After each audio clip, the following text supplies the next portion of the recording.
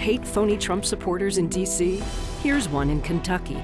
Wil Schroder publicly criticized Trump, takes thousands from trial lawyers who funded Hillary and Obama. Schroder voted in Obama's big Democrat primary win. Luckily, there's Daniel Cameron.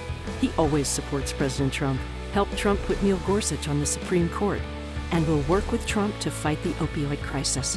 Beware the phony. Vote for the real Trump candidate. Vote Daniel Cameron for Attorney General.